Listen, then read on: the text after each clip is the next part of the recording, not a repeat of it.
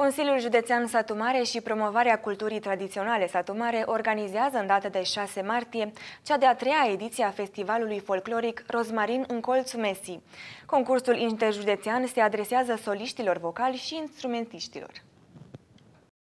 Concursul își propune valorificarea, popularizarea cântecului și portului popular românesc autentic, descoperirea de noi talente în interpretarea cântecului popular românesc și readucerea costumului popular la valoarea sa adevărată, scrie satumareonline.ro. Comuna Medieșu Aurit, vechi centru istoric și cultural al Sătmarului, este așezată pe malul drept al Someșului, aflat la confluența dintre cele două mari zone folclorice ale județului, Oașul, respectiv Codrul. Medieșul a fost în permanență un spațiu privilegiat în care s-au păstrat tradițiile și cântecele populare. Unul dintre aceste frumoase cântece se regăsește în repertoriul marelui artist Nicolae Sabău, care a cules melodia Rozmarin în colțul Mesi, din localitatea Medieșu Aurit, în cinstea căruia se organizează acest festival.